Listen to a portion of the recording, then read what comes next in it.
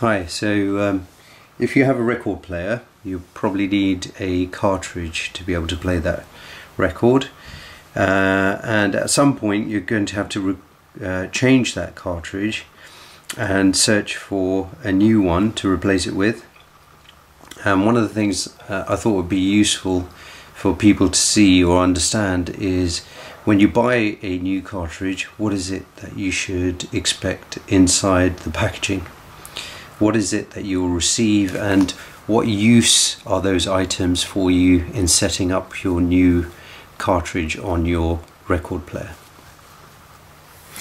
So what I'm going to go through now is quickly just unbox one of these uh, cartridges. I've got a, a, range here of moving magnet and moving moving coil cartridges of varying um, uh, complexity and expense. Probably the most expensive one is uh, the Audio Technica AT33 PTG, which is a moving coil cartridge. And so I'll open the packaging and let you know what's inside. Firstly, the packaging itself um, comes in a rather attractive, uh, what I'd call almost a, a jewelry case. Um, it'll have the description of the actual contents, of course, on the outside. It's made by Audio Technica, um, a very good name in, in hi-fi circles. Uh, they always produce, you know, pretty decent, good quality, uh, reasonably priced um, audio equipment and accessories. So inside the box, what you'll find is the actual case for the cartridge itself. Uh, the cartridge is securely fixed inside the case, um, inside this Perspex case here, which I'll open in a second. And underneath the case is a whole series of papers. You'll find most of those papers because Audio Technica, the production is in Japan. Most of those papers will be in the Japanese language. Uh, some items you'll find in audio circles are export items so you'll get a lot more multiple languages. In the documentation this I think was probably originally a Japanese market sold item and so most of the items or most of the accessories are in the Japanese language which is fine as long as they for us UK consumers at least produce something which we can interpret and if you flick through the pages thankfully yep there's a whole set of instructions there in English. Now uh, you can go through at length if you're interested in the specification and the construction and the shape of the diamond stylus at the end etc etc but probably the most useful element in all of this is going to be for your setup information is going to be uh, these two sections here in the instructions. Now they'll be pretty similar regardless of what cartridge you're purchasing.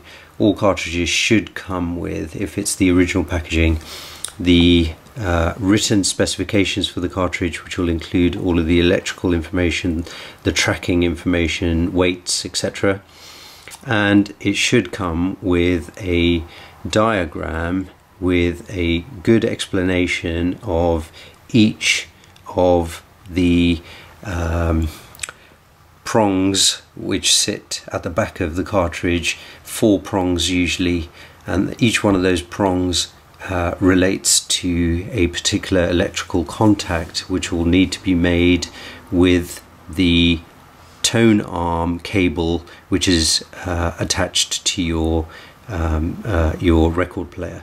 So when you're inserting or attaching the cartridge to your tone arm, there'll be a series of electrical contacts, four in all, all color coded.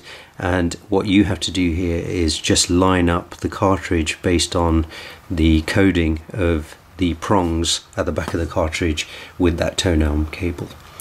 So extremely important. They are not, I have to repeat, they are not the same with every single cartridge. So it's important you check the instructions and follow the instructions on your particular cartridge. Also, I'd, I'd draw your attention to two um, important pieces of information on your specifications. The first is the tracking force. Tracking force will become important when you're setting up the tone arm and you're trying to understand how much weight the tone arm should apply onto the vinyl itself using your cartridge. Uh, your cartridge is set up for a particular tracking force so that when it falls onto the vinyl that that stylus hits the vinyl with a particular weight and that is the optimum weight the factory and the and the researchers have established will provide you the best sound for that given cartridge. Uh, also, I'd uh, point out here the uh, coil impedance value. Coil impedance will become important not so much on moving magnet if you're using a moving magnet um, phono stage, but on moving coil certainly, because moving coil phono stages um, they can be variable or adjustable. And if you want the absolute best sensitivity and the best match between your phono stage and the signal output from your cartridge, you will need to understand what the impedance levels are so that you can make the adjustments on your phono stage and get the best signal quality that you can reproduced through your amplifier. Okay, so uh, that's the contents of your typical uh, instructions and specifications. Now the cartridge itself, uh, if you open the case, you have to be very careful with cartridges. Um, you'll learn, hopefully not from too bad an experience, but everybody who owns vinyl at some stage will do this. The stylus, which sits underneath this guard, which I'm just going to remove for a second, or maybe not.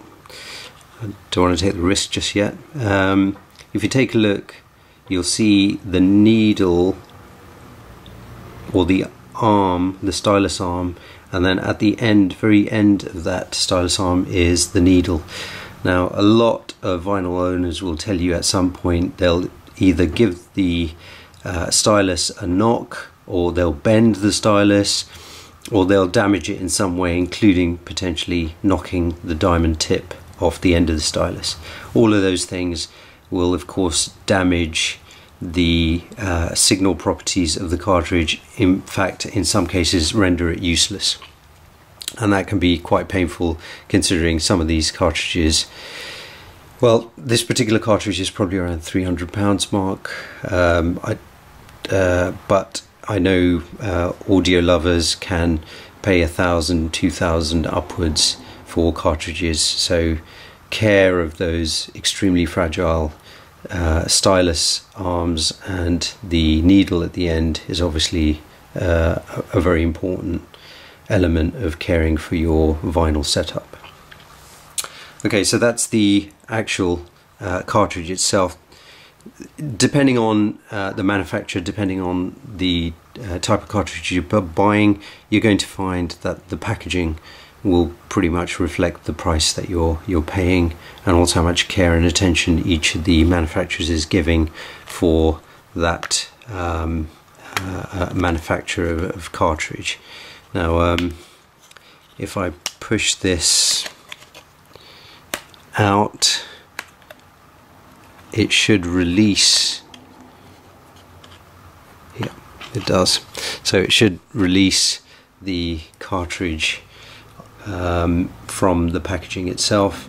You can see here that Audio Technica, what they've done is they've created a nice transport arm so that when you're carrying it backwards and forwards, um, you've got not only the guard but the arm, um, this transport arm, so that you can um, move, maneuver it around safely without um, hopefully damaging the stylus.